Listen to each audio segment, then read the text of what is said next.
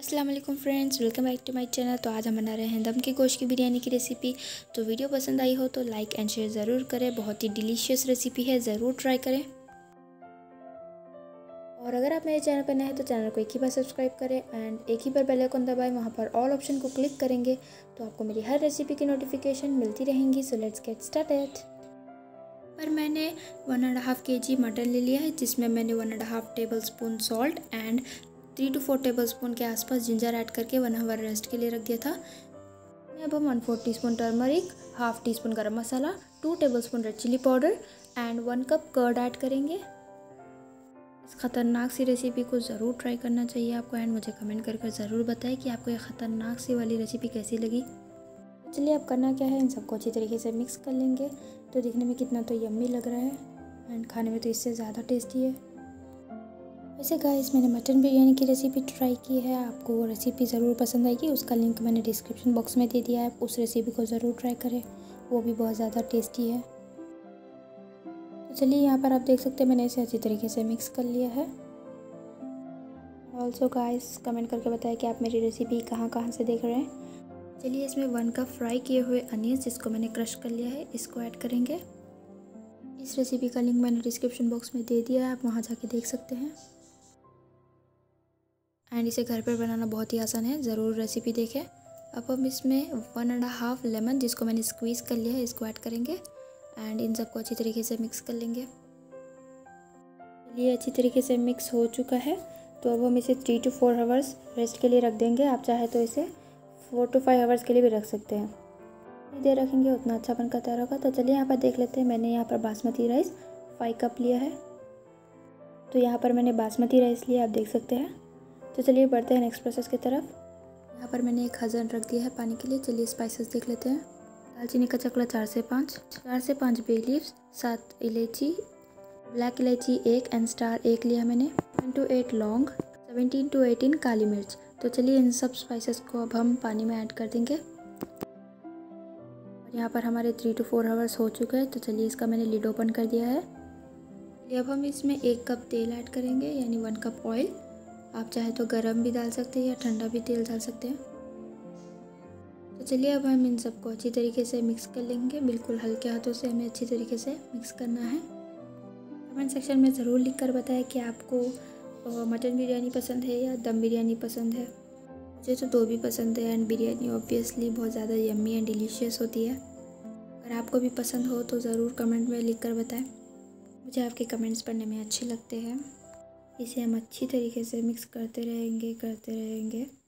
फिर उसके बाद क्या करना है, मैं आपको बताती हूँ। अच्छे से मिक्स कर लेंगे, उसके बाद देखते हैं हमें फिर नेक्स्ट प्रोसेस क्या करना है। तो चलिए, मैंने इसे बहुत अच्छी तरीके से मिक्स कर लिया। अब हम इसका लिड क्लोज कर देते हैं। हम जब तक रेस्ट के लिए रखेंगे जब तक हमारा चावल अच्छी तरीके से कुक हो जाए तो यहाँ पर आप देख सकते हैं हल्का सा हज़न आ रहा है। तो जब हज़न आ जाए तो अब हम इसमें राइस ऐड करेंगे। थोड़ा थोड़ा कर कर ऐड करेंगे। अब हम इसमें हाफ़ टेबल स्पून क्रिस्टल वाला सॉल्ट ऐड करेंगे, मोटा वाला सॉल्ट और फिर इन सबको अच्छी तरीके से मिक्स कर लेंगे। और इसे हम 80 परसेंट अच्छे से कुक कर लेना है। तो ये अच्छे से कुक हो रहा है, जब तक हम नेक्स्ट प्रोसेस देख लेते हैं। चलिए चलते हैं। यहाँ पर मैंने हाफ़ पंच करिएंडर एंड पुदीना जिसको चॉप कर लिया है। And six two seven green chillies तो चलिए अब हम इसका लिड ओपन करेंगे। अब हम इसमें ये ग्रीन चिल्लीज ऐड कर देंगे। ग्रीन चिल्लीज अब हम फोर ऐड करेंगे।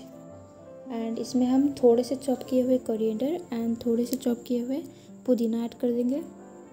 फिर करना तो वही है, इन सबको अच्छी तरीके से मिक्स कर लेना है। ये रेसिपी आप ज़रूर ट्राई करें। बच्चों को, बड़ों को, सभी को पसंद आने वाली रेसिपी है। एंड गेस्ट आए जब आप इस तरह से बनाकर सर्व कर सकते हैं। बहुत ज़्यादा यम्मी रेसिपी है। ज़रूर ट्राई करना चाहिए आपको। तो अगर आप मेरे चैनल पर नए हैं तो चैनल को एक ही बार सब्सक्राइब करें। एंड ऑल ऑप्शन को क्लिक करेंगे तो आपको मेरी हर रेसिपी की नोटिफिकेशन मिलती रहेंगी। तो चलिए ये अच्छी तरीके से मिक्स हो चुका है। चलिए इसका लिड क्लोज करते हैं एंड बढ़ते हैं नेक्स्ट प्रोसेस की तरफ़। यहाँ पर आप देख सकते हैं हमारा चावल अच्छी तरीके से कुक हो रहा है। चलिए इसे हम अच्छी तरीके से मिक्स कर लेंगे इस तरह से। तो चलिए यहाँ एक नज़र देख लेते हैं। यहाँ पर मैंने two tablespoon ginger garlic paste and half teaspoon salt ले लिया है। इसमें अब हम ये हज़न का पानी ऐड करेंगे, यहाँ पर आप देख सकते हैं। ये वाटर को अब हम ऐड करेंगे। यहाँ पर मैंने four two five tablespoon add कर लिया है। चलिए इसे अच्छे से मिक्स कर लेंगे। ये हमारा मिक्सचर रेडी है। मैं आपको बताती हूँ कब इसे यूज़ करना है। तो चलिए यहाँ पर एक दफ़ा हम अच्छे से मिक्स कर लेंगे। इसे अच्छे से मिक्स करने के बाद इसे हमें टेस्ट करेंगे कि एटी परसेंट ये अच्छे से कुक हुआ है कि नहीं। यहाँ पर आप देख सकते हैं अच्छे से कुक हो चुका है। जल्दी ब्रेक हो रहा है। तो इसके फ्लेम को अब हम ऑफ़ करते हैं। पर मैंने एक कॉटन का क्लॉथ ले लिया है, आप देख सकते हैं। इसमें अब हम ये राइस को ऐड करेंगे। तो यहाँ पर ये क्लॉथ के नीचे मैंने एक बड़ा सा वेजल रख दिया है, जिससे ये पानी यहाँ पर स्ट्रेन हो गया है। तो चावल को हम निथाल लेना है अच्छी तरीके से। तो चलिए, ये हो चुका है। तो यहाँ पर मैंने सेम वेजल में ऐड कर रही हूँ मटन जिसको हमने मैरिनेट कर लिया था।